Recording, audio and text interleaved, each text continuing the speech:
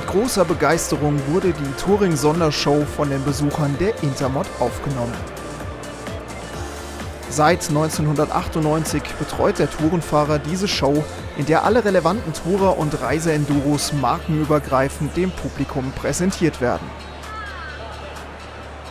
Fachkundig moderiert von den Redakteuren des Nitschke Verlags.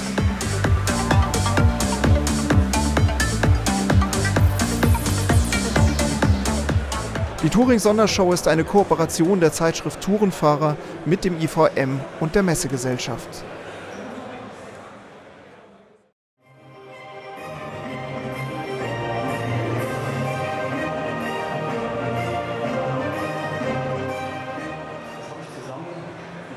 Beliebter Brennpunkt der Sondershow ist die Vortragsbühne, die an allen fünf Messetagen stets dicht umlagert war.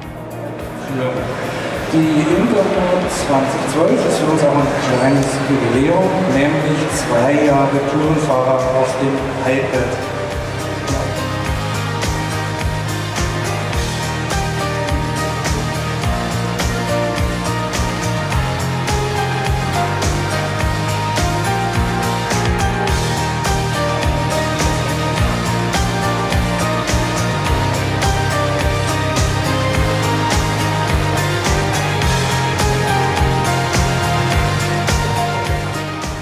Wir freuen uns auf ein Wiedersehen 2014 in Köln.